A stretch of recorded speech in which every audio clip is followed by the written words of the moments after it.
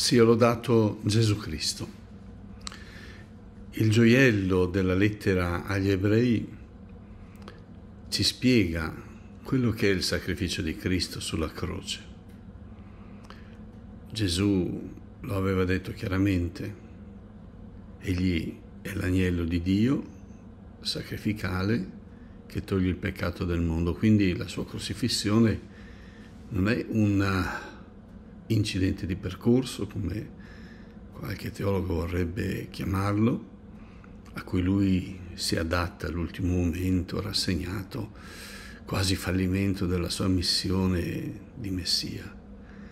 La croce è il punto di arrivo a cui egli vuole andare, il punto di arrivo per il riscatto degli uomini, tutti, dal loro peccato e questo mediante proprio la effusione del sangue. Ed egli lo dice, i profeti muoiono a Gerusalemme, il luogo della contraddizione, del male, ma anche del bene che vince sul male. Ebbene, la lettera agli ebrei fa la teologia di tutto quello che è la storia di Gesù e delle sue parole e la collega con l'Antico Testamento, lo collega con eh, tutte quelle che sono le, i centri e le tradizioni ebraiche. In particolar modo parla della tenda, del santuario, o meglio della doppia tenda, e la descrive. Sotto la prima tenda, dietro la prima, c'è la tavola, i panni dell'offerta, il candelabro, e poi c'è una seconda tenda, il Santo dei Santi, Sancta Sanctorum, dove non c'è nulla, perché lì si manifesta la presenza di Dio.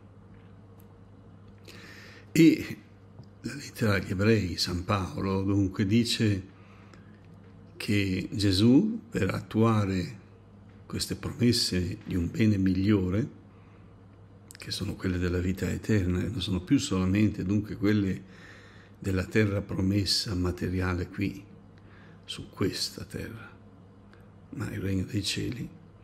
Per attuare questo passa un santuario, passa attraverso il velo che è più grande ed è perfetto. Parla del santuario del cielo, che è quel modello che Mosè vide sul monte quando poi diede istruzione di costruire, secondo quello che aveva visto, la cosiddetta tenda del convegno, dove ci sono questi doppi veli, e in cui veniva riposta anche l'arca. E quando si costruì il tempio in pietra, la stessa tenda, il velo del, tempo, del tempio, rimaneva lì dentro, perché il modello rimaneva quello. Ebbene, Cristo passa il velo di un tempio più grande, di un santuario più grande, il Sancta Sanctorum, che è nel cielo stesso. Cioè passa attraverso quello che è il mondo creaturale nel mondo del soprannaturale, che è Dio stesso. E dice San Paolo, non costruito da mani d'uomo. Con che cosa passa? Passa con un'offerta che non è quella sulla terra del sangue di tori, di giovenche sparsi con le ceneri per santificare quello che non è santo, ma passa con il proprio sangue, il sangue sacrificale, quello sulla croce. Dunque la comunione fra il figlio e il padre, cioè il figlio fatto uomo e il padre che porta con sé tutta l'umanità redenta, avviene per mezzo del sangue sacrificale sparso sugli uomini che in questo modo vengono purificati dalle cattive opere della loro coscienza, che vuol dire dai peccati che la loro coscienza riesce a riconoscere. È un po' difficile per noi oggi accettare questo perché nonostante sia un'epoca cruenta, vorremmo non parlare di sangue, specialmente il sangue degli animali, ma chissà perché non vogliamo neanche parlare del sangue di Cristo, quando invece tuttora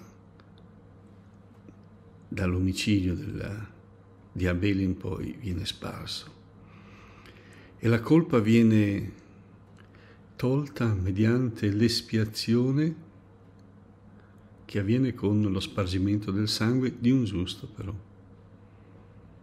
Quindi Gesù raccoglie tutti, tutte le morti, il sangue dunque sparso ingiustamente di tutti costoro e ne fa un sacrificio unico per santificare coloro che santi non sono e siamo noi. Sulla croce dunque avviene il compimento di quella promessa che Dio fece ai nostri progenitori, Adamo ed Eva, che il maligno sarebbe stato sconfitto. E viene sconfitto con questa obbedienza del Cristo che libera l'omicida fin dal principio, dall'omicida fin dal principio libera tutti i fratelli, tutti gli uomini. Noi siamo dunque liberati dalle mani, dalle grinfie del demonio, perché liberati dalla colpa del peccato che non diventa più un motivo di assoggettamento allo spirito del maligno, perché ogni peccato è connivenza con lo spirito del maligno e dunque obbedienza alla sua paternità, che vuol dire alla sua fonte ispiratrice e dunque ciò che lui è. È così che quando Gesù sulla croce getta il gran grido,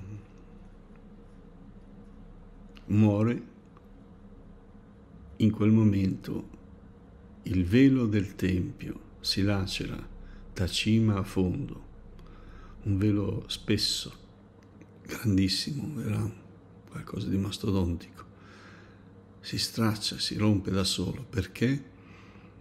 Perché finalmente il Cristo è entrato in un santuario, quello lo simboleggia, il santuario del cielo, e ha portato con sé prigionieri, cioè le spoglie del nemico. Ha portato con sé i prigionieri del nemico che lui ha reso liberi e passano attraverso questo velo che è stato squarciato. Da quel momento in poi esiste la possibilità per ognuno di noi della comunione con Dio, essere una sola cosa con Lui e esiste la possibilità di rispondere alla chiamata alla santità, perché siamo resi santi, santificati da quel sangue sparso, che noi celebriamo e rinnoviamo continuamente con l'Eucaristia prendete, mangiatene tutti, questo è il mio corpo, prendete bevetene tutti, questo è il mio sangue sparso per voi in remissione dei peccati. Fate questo in memoria di me, che vuol dire fate quel memoriale che attualizza per voi l'effetto di quello che è avvenuto allora e vi rende purificati dal mio sangue. Senza questo non possiamo entrare nel Sancta Sanctorum. Dio vi benedica.